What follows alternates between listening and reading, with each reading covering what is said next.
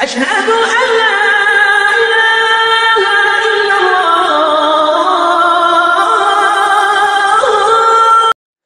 ওয়ালাইকুম আসসালাম রহমতুল্লাহি ওবরাকাতু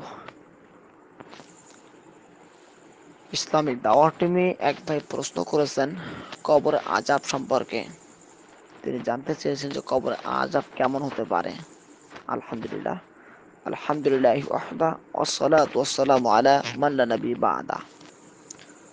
সম্মানিত দিনী ভাই, একজন মানুষ মরার পর সর্বপ্রথম স্থান হবে কবর। যদি সে কবরে বেঁচে যায়, তাহলে তার প্রত্যেকটি ধাপ তার জন্য সহজ হয়ে যাবে। যেমন রাসূলুল্লাহ সাল্লাল্লাহু আলাইহি তিনি বলেছেন আল কবর আওয়াল মানজিল মিন আল মানজিল আল আখির, ফাবাদু আইসার মিনহু ওয়া ইন লাম ইনজু মিনহু, ফাবাদু আশাদু মিনহু। মানুষ মরার পর সর্বপ্রথম বিপদে জায়গা হবে কবর। মানুষ যদি কবরে বেঁচে যায়, তাহলে এর পরে যত স্তর আছে সব তার জন্য সহজ হয়ে যাবে। কিন্তু মানুষ যদি কবরে বাঁচতে না পারে, তাহলে তার প্রত্যেক স্তর অনেক অনেক বেশি কঠিন হবে। বাংলা হাদিস নাম্বার একশো উনিশ। রাসূলুল্লাহ সাল্লাল্লাহু আলাইহি ওয়াসাল্লাম তিনি বলেন, মা রাআইতু মানজারান কাত্তু কাবর মিনহু। আমি আমার জীবনে দেখিনি কোনো আশ্চর্য দৃশ্য যা কবরের চাইতে অনেক বেশি কঠিন হতে পারে। রাসূলুল্লাহ সাল্লাল্লাহু আলাইহি ওয়াসাল্লাম তিনি বলেন বাংলা মিশকাত হাদিস নাম্বার একশো উনিশ। ফা ইয়াসি ও সাইহাতান কবরে যদি মানুষ জবাব দিতে না পারে, তখন সে আজাবে বাপরে বারে করে চিৎকার করতে থাকবে। রাসূলুল্লাহ সাল্লাল্লাহু তিনি আবার বলেন বাইনাল মাশরিকি ওয়াল মাগরিবিল্লা বিশাল পৃথিবীতে কীট, পতঙ্গ, জীবজন্তু সব কিছু শুনতে পাবে, কিন্তু মানুষ ও জিন শুনতে পাবে না। এই ক্ষেত্রে সতর্ক সাবধান থাকতে হবে। কবরে কঠিন আজাব সম্পর্কে সতর্ক, সাবধান থাকা জরুরি।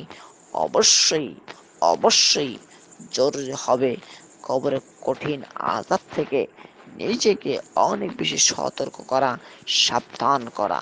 সেই ক্ষেত্রে মনে রাখতে হবে কবরের কঠিন আজাব রাসূলুল্লাহ সাল্লাল্লাহু আলাইহি ওয়াসাল্লাম তিনি বলছেন, ইয়াসমাউ মা বাইনাল মাশরিকি ওয়াল মাগরিবিল্লা সাকালাইন। বিশাল পৃথিবীতে কীট, পতঙ্গ সব কিছু শুনতে পাবে, কিন্তু মানুষ ও জিন শুনতে পাবে না। কারণ কি? এইটার কারণ হলো একেবারেই সহজ একটি কারণ।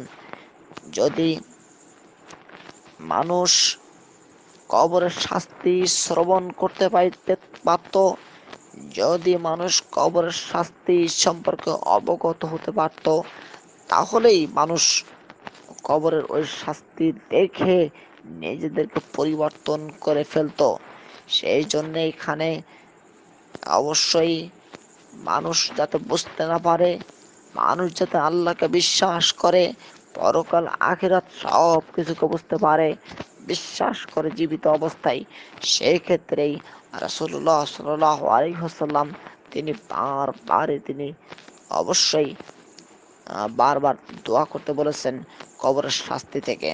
আর আমাদের অবশ্যই উচিত হবে কবরের শাস্তি থেকে পরিত্রাণ চাওয়ার জন্য আল্লাহর কাছে দোয়া করা, কঠিনভাবে দোয়া করা।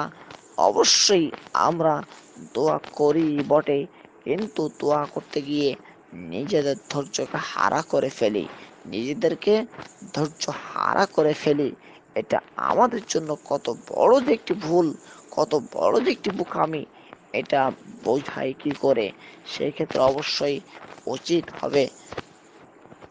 অবশ্যই উচিত হবে কবরে প্রবেশ করার আগেই নিজেকে বাঁচিয়ে নেওয়া। এই যে এখনই কথা বললাম, চার মিনিট বিশ সেকেন্ড হয়ে গেল।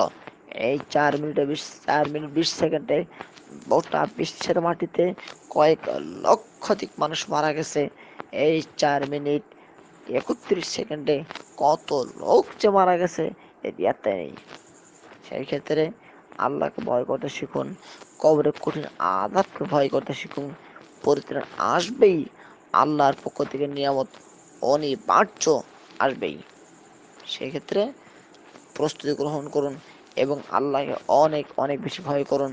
কবরের কঠিন শাস্তি সম্পর্কে নিজেকে পরিবর্তন করে ফেলে দিন। আল্লাহ আপনাদেরকে আমাকে সেই তৌফিক দান করুন। আমিন। ওকে দেওয়ানা يعني الحمد لله رب العالمين. السلام عليكم ورحمة الله.